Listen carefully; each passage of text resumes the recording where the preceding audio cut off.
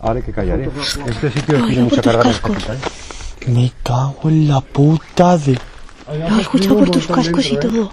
¿Qué ha pasado, David? Me cago en...